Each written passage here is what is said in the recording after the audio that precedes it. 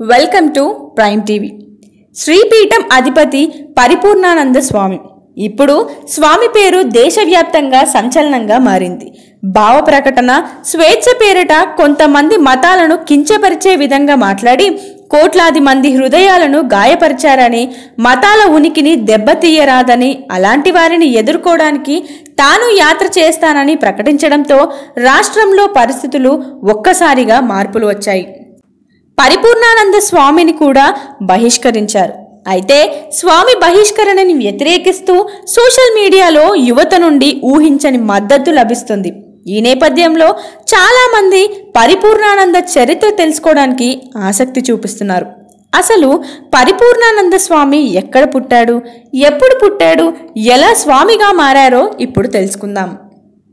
పరిపూర్ణానంద స్వామివారు నెల్లూరులో నవంబర్ ఒకటో తారీఖున పంతొమ్మిది వందల డెబ్బై రెండులో జన్మించారు.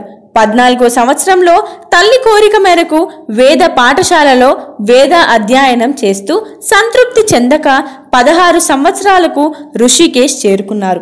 అక్కడ దయానంద సరస్వతి స్వామి వద్ద భారతీయ వాగ్వేయాలను ఉపనిషత్ సిద్ధాంతాలను అధ్యయనం చేశారు. వీటితో పాటు ఆగమ మంత్ర వాస్తు జ్యోతిష్యాలను కూడా అధ్యయనం చేశారు. తన గురువు దయానంద ఆజ్ఞానుసారం ఆంధ్ర రాష్ట్రంలో తన ప్రవచనాల ద్వారా వివిధ ప్రాంతాలను పర్యటిస్తూ పంతొమ్మిది వందల తొంభై తొమ్మిది సంవత్సరంలో తూర్పుగోదావరి జిల్లా కాకినాడ పట్టణంలో శ్రీపీఠంలో ఐశ్వర్యం వికాస్ సమేత సుందరేశ్వర స్వామి ప్రతిష్ట గావించాడు. కొన్ని సంవత్సరాల పాటు శ్రీపీఠం అభివృద్ధిలో మునిగిపోయారు స్వామి పరిపూర్ణానందం. అక్కడే ఉంటూ ప్రవచనాలు శిక్షణ శిబిరాలు మరియు సేవలు నిర్వహిస్తూ ఉన్నాడు. అప్పుడు యావత్ ఆంధ్ర రాష్ట్రం కరువు కాటకాలతో వర్షాలు లేని సమయంలో రెండు వేల రెండు సంవత్సరంలో శ్రీపీఠంలో ముప్పై రెండు రోజుల పాటు మహా నక్షత్ర యాగం నిర్వహించారు. ఫలితంగా రాష్ట్రమంతటా కుంభవృష్టి కురిసింది. రెండు వేల మూడు రెండు వేల నాలుగు సంవత్సరాలలో రాజమండ్రి గోదావరి పుష్కరాలలో ఐదు లక్షల మందికి విజయవాడలో కృష్ణవేణి పుష్కరాలలో ఆరు లక్షల మందికి అన్నదానం చేసిన ఘనత ఆయనకే చెందింది. హిందూ రక్ష వేదికకు అధ్యక్షకులుగా బాధ్యతలు స్వీకరించిన అనంతరం పీఠాన్ని శిష్యులకు అప్పగించారు. స్వామి ప్రజల్లోకి వచ్చి హైందవ ధర్మాలను గురించి బోధించడం మొదలుపెట్టారు.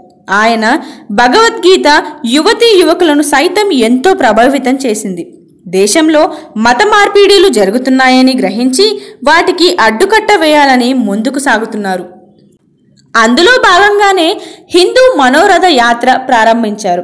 హిందూ మత రక్షణ కొరకు పోరాటం చేస్తున్న స్వామిని చాలామంది దళిత వ్యతిరేకిగా చిత్రీకరించారు. ఆయన కూడా ఒక దళితుడే. దళితుడు అయిన హిందువే అన్న వార్త సోషల్ మీడియాలో వైరల్గా మారింది.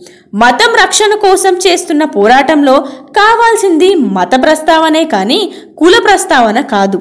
ఇదిలా ఉంటే ఇప్పుడు పరిపూర్ణానంద స్వామి ఇచ్చిన స్ఫూర్తితో చాలామంది యువత హిందూ మత రక్షణ కోసం ముందుకు వస్తుండడం శుభపరిణామం అని చెప్పుకోవచ్చు.